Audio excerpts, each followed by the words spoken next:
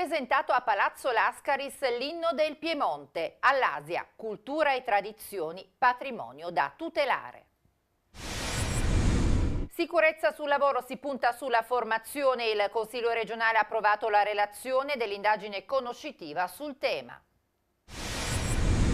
Il Piemonte chiede di recuperare i tribunali soppressi.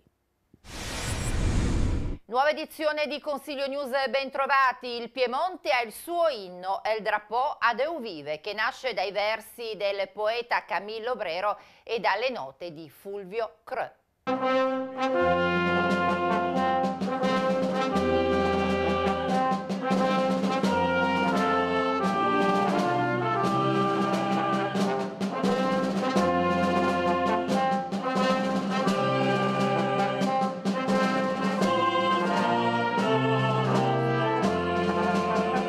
Presentato a Palazzo Lascaris il Drapeau de Uvive, il brano scelto come inno del Piemonte musicato dal maestro Fulvio Creux, il cui testo è tratto da due poesie dello scrittore e poeta Camillo Brero.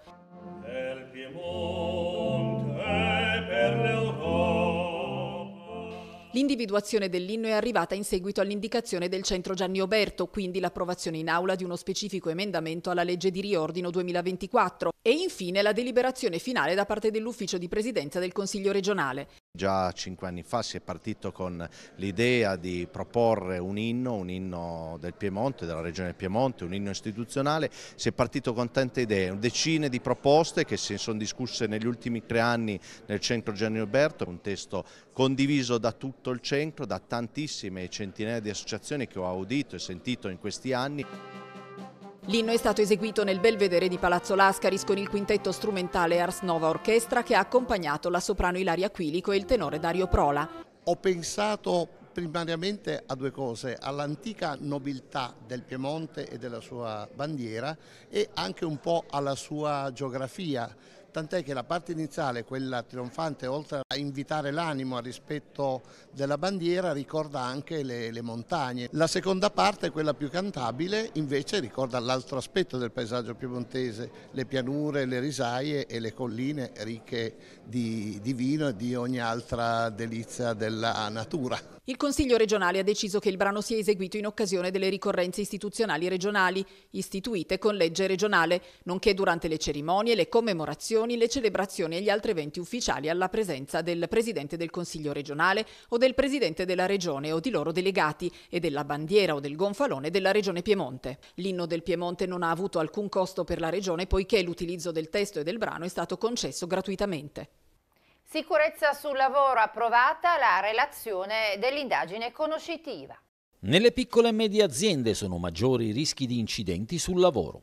È uno dei dati che emergono dall'indagine conoscitiva approvata all'unanimità dall'Aula del Consiglio regionale durante l'ultima seduta. Come ha sottolineato Sara Zambaia, Lega, nell'introduzione, l'indagine ha l'obiettivo di elaborare una programmazione delle politiche regionali per migliorare la prevenzione e diffondere la cultura della sicurezza sui posti di lavoro. È stata evidenziata la necessità di istituire una commissione regionale di coordinamento per la formazione sulla sicurezza nei luoghi di lavoro.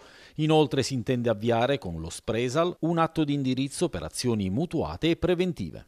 Per giungere ad un testo condiviso è stato fondamentale il lavoro svolto da Walter Marin, Lega per la maggioranza, e da Monica Canalis, Partito Democratico, e Francesca Frediani, Movimento 4 Ottobre, Unione Popolare per i gruppi di opposizione. Non parliamo di incidenti e basta, parliamo di morti, parliamo di vite che eh, drammaticamente vengono spezzate, quindi famiglie che vengono letteralmente distrutte. La politica deve essere vigile, l'azione legislativa di chi ha competenze in materia deve essere veramente molto intensa. Essere vicini alle imprese, soprattutto le imprese più piccole che magari fanno un po' più di fatica in autonomia a fare formazione ai loro lavoratori. Noi che siamo le istituzioni dobbiamo aiutare, accompagnare queste imprese in maniera tale che davvero nessun lavoratore, neanche straniero, resti indietro. Approvato a maggioranza dall'Aula un disegno di legge al Parlamento che chiede al Ministero della Giustizia, attraverso apposite convenzioni, di istituire nuovamente alcuni tribunali e procure soppressi dal governo nel 2012 per operare una riorganizzazione complessiva degli uffici giudiziari.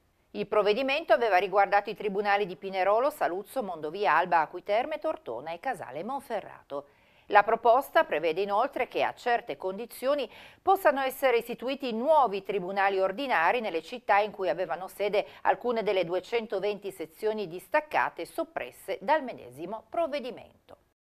Più tutela per gli operai forestali della Regione.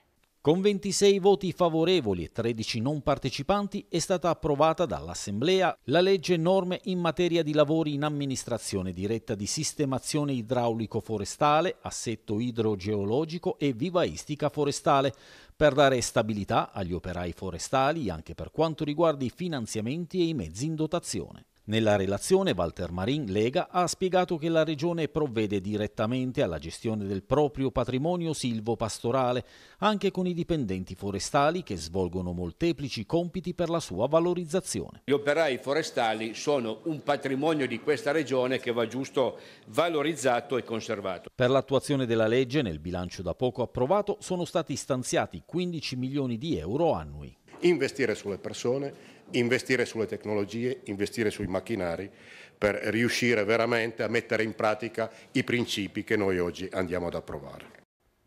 Potranno partecipare alle prossime elezioni regionali senza obbligo di raccolta firme tutte le forze politiche o i movimenti corrispondenti a gruppi parlamentari presenti in almeno una delle due Camere. Con una modifica approvata dall'Aula infatti si precisa la fattispecie per evitare dei contenziosi che potrebbero compromettere il procedimento elettorale, come si legge nella relazione della PDL approvata che è stata presentata dal Presidente Stefano Allasia. Questa modifica, ha spiegato, si è resa necessaria perché nei giorni scorsi è cambiata la normativa nazionale ed era indispensabile adeguarvisi. Con la stessa PDL, e sempre per adeguarsi a un recentissimo decreto legislativo nazionale, è stata modificata la normativa per le cause di ineleggibilità previste per i dipendenti regionali ai fini dell'elezione a consigliere regionale. Dovranno prendere aspettativa esclusivamente i dipendenti della Regione che svolgano, al momento della candidatura al rispettivo Consiglio, funzioni e attività amministrative. Il Parco dei Cinque Laghi di Ivrea è legge.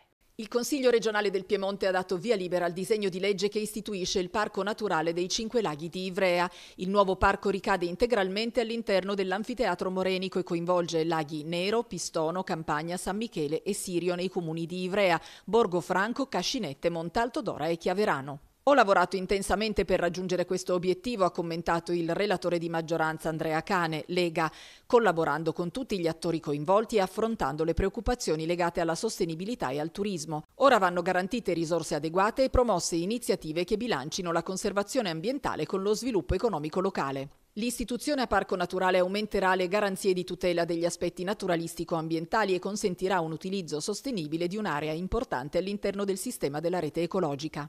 Finalmente, grazie alla nostra insistenza, è arrivata ad approvazione questa proposta, ha spiegato il relatore di opposizione Giorgio Bertola, Europa Verde, un passo importante per il territorio che ha voluto fortemente l'istituzione del parco e che meritava una risposta dal Consiglio regionale. Via libera un provvedimento mirato a rilanciare e sostenere il comparto del wedding.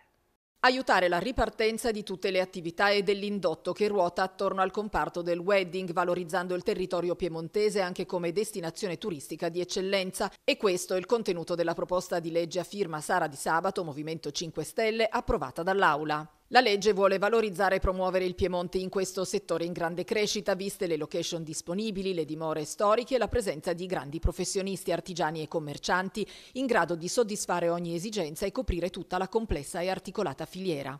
Un sistema variegato che mette insieme produttori di eccellenza del Made in Italy e aziende commerciali della ristorazione e di servizio, ha spiegato la consigliera di sabato. In totale, esclusa la ristorazione, si tratta di 2.000 aziende che danno lavoro a 15.000 addetti e muovono un giro d'affari complessivo di alcuni milioni di euro in Piemonte.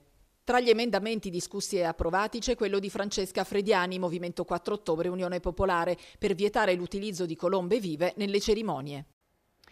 Per questa edizione è tutto. Prima di salutarvi vi ricordo che sul sito cr.piemonte.it trovate notizie e aggiornamenti sull'attività del Consiglio regionale del Piemonte. Arrivederci.